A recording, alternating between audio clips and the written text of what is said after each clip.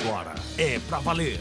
Só aqui no Fox Sports você acompanha o último e decisivo jogo entre Universidade Chile e Libertar. Os chilenos arrancaram um empate lá no Paraguai. E agora é tudo ou nada pela vaga nas semifinais. Acompanhe essa decisão pela Libertadores. Hoje, ao vivo, 10 e meia da noite. Fox Sports. Torcemos juntos.